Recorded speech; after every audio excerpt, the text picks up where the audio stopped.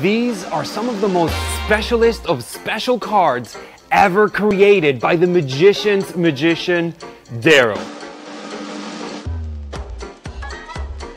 Imagine this. You start off with blank cards with a special secret. So check it out. We'll take your card, press it right against the blank, a little squeeze, and it absolutely absorbs the ink onto that blank card. One by one, print on every blank card. You can actually take a surface, place it on the blank, and immediately after place another surface, giving you two surfaces on one. From mirror cards, double face back cards, smudge cards, and even spun cards.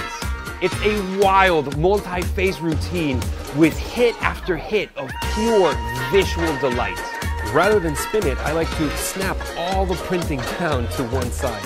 And at this point, your spectators can examine absolutely everything. Leave a lasting impression with Daryl's Presto Printo.